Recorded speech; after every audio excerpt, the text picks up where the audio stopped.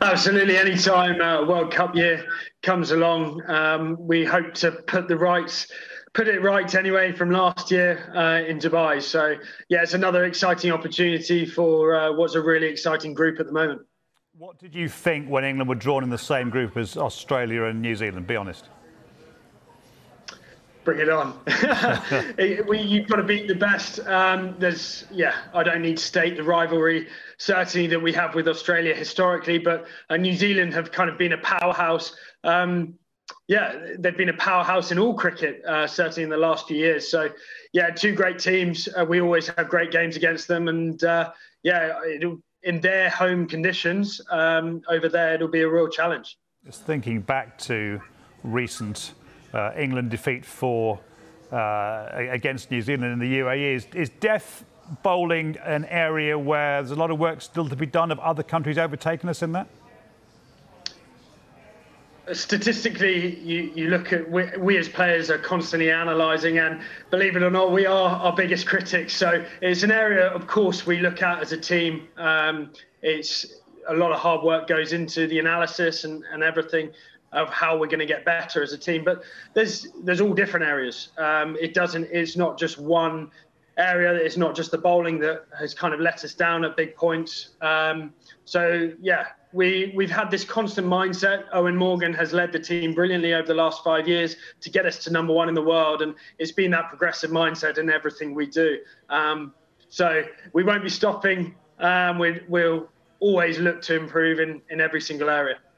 England are around about third favourites, depending which bookmaker you look at to win this competition behind India and Australia. Shouldn't you be favourites given how good England's record is in this tournament?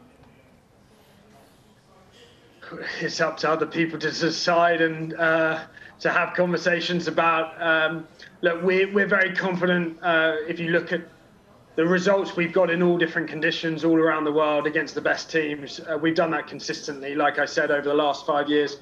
Confidence comes from ev- evidence. So, um, yeah, we've got that behind us. But it's those big moments, those crunch moments that we'll be looking to put right. That ultimately we won in the 50 over competition, uh, the World Cup in England on home soil. So it's another challenge doing it away from home. But uh, we've definitely got the talent and the mindset uh, to, to hopefully win the title in Australia. How long can Eoin Morgan keep on doing this? How long can he remain as the all-conquering captain? I mean, what a question that is. He, he can. Uh, he's got a track record as impressive as anyone. Uh, he is the fundamental part which which has changed white ball cricket in the last five or six years. Him and Andrew Strauss have played a fundamental role in that. So, yeah, um, he, he's looking forward to to it more than anyone to really um, win that title and get get the T20 title back uh, in English hands. So it's a, it's another opportunity for everyone. But we've got a great group in in the. There's a lot of different leaders. Jos Buttler plays an integral part, one of the best white ball players in the world, and uh, he's another guy that will really look to step up and be counted as well. Is he the next captain? Do you think? Josh has incredible leadership skills. Uh, like I said, Moeen Ali has done a lot of captaincy as well. Um, it's it's an area that I think a lot of people have focused in on in, in terms of the English game, and the hundred has produced um, a great opportunity uh, along with the Vitality Blast for guys to captain their domestic sides uh, to success. So. Um, yeah, you can only you need to experience captaincy. You need to know how to get the best out of your teammates and and different people. So um, we're very lucky that we've got some high class competitors and cap- captains um, there below Eoin as well. So there's a lot of good options. That's always a good sign for a good team. You played in that final Ashes test in Hobart. A lot of people in cricket I know were pleased to see you get that opportunity. How hungry are you to do it again?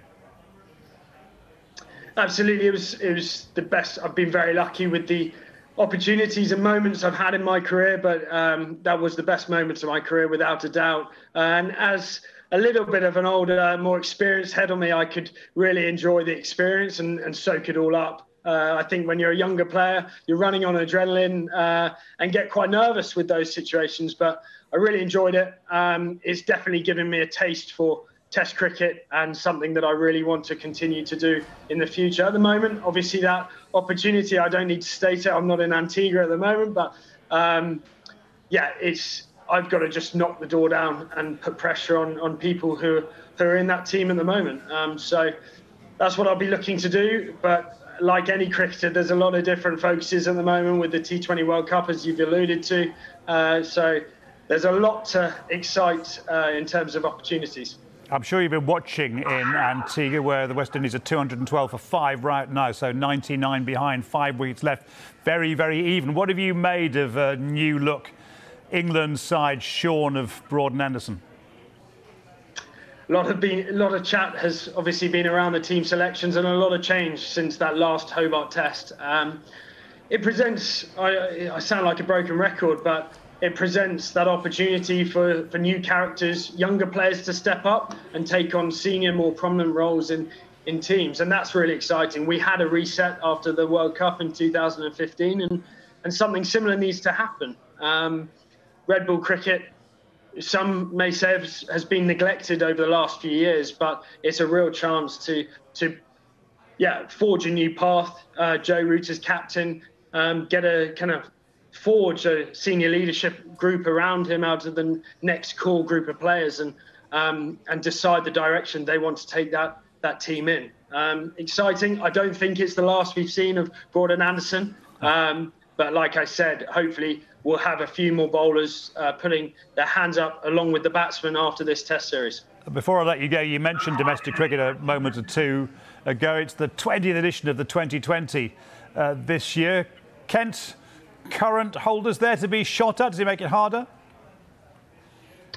It's exciting. Uh, it was 14 years since we won the trophy. Uh, the trophy's just sat down there. Um, incredible moment, incredible moment for the club and, and the community um, in this corner of the country, um, southeast corner of the country. So, yeah, it's, it's nice to be, um, I suppose, chased. Uh, we've been doing the chasing for quite a while, and uh, that mindset might shift. But for us, we've got a really exciting um, squad down here. A lot of young players that are hungry for more success. Once you get a taste of something, um, you definitely want it more. So we'll be looking forward to defending our title. And there's no doubt, um, statistically, we've been one of the best teams in the last few years in the country. So, uh, yeah, there's no reason why we can't go back to back.